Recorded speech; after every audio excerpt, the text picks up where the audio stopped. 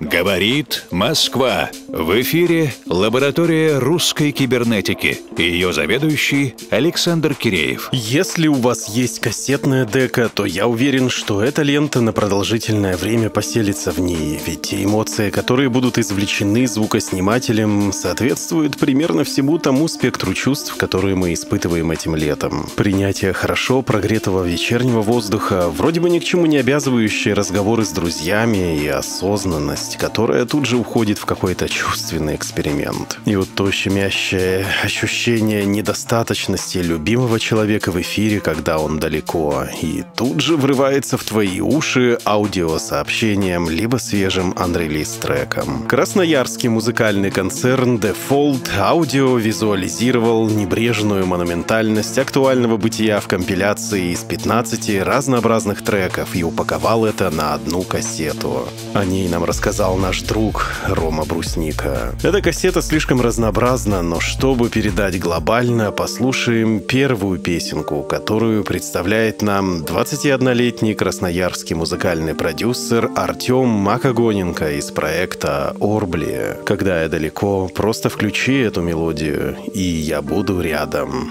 Away from you.